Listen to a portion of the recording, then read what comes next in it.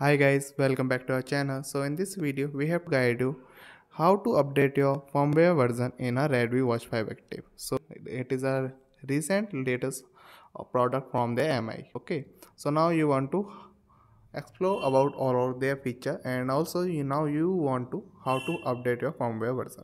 So how you can do this? So first of all, we have to need a MI Fitness app so this all of their feature will be controlled by this mi fitness app okay? So you have to simply go into the mi fitness app here. So now we have to go into their their device. Okay so now here we have to scroll down to until we have to find this update option. So now you will see of this update option is here. Simply click on this. If an update is available you have to download here. So that's how you can update your firmware version in a redmi watch 5 active. Okay. So thank you for watching this video